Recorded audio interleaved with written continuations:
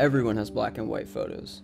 Even though a lack of color may keep us from fully connecting with an image, one artist is helping to bring history back to life.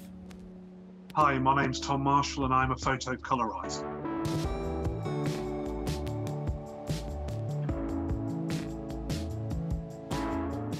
Well, I started colorizing really as a hobby for most of my childhood.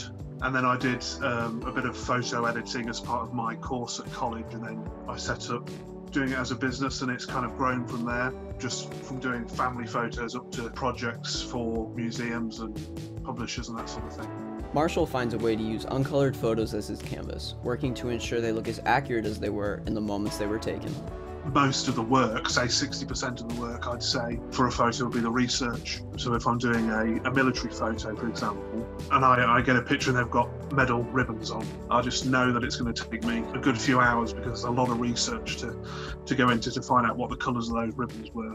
Colorizing moments of struggle and pain is no easy feat. Tom's job is to ensure his coloring is accurate to the horrors of the images, which can take its emotional toll. The most uh, emotionally taxing project that I've worked on was the Holocaust photos that I did because I spent two weeks working on the project and there's a lot of times when I could just have to switch off and not look at the screen for a few hours because they look like skeletons. There's a, an 18 year old girl in the Dachau concentration camp and she looks like an 80 year old man. She looks like she's just got no life in her at all, really. So yeah, that was that was the hardest thing I've worked on.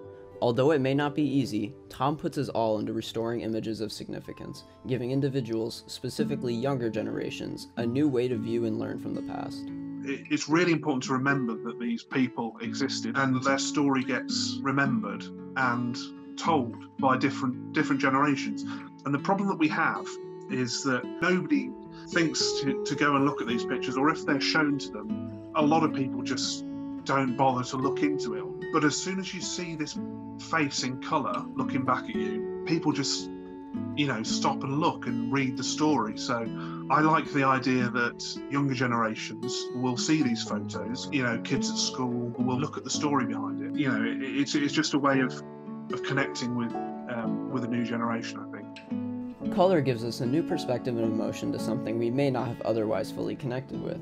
And with a lot of time and hard work, Tom and other individuals like him are re-educating us in a new and unique way. For CTV News, this has been Giovanni Papini.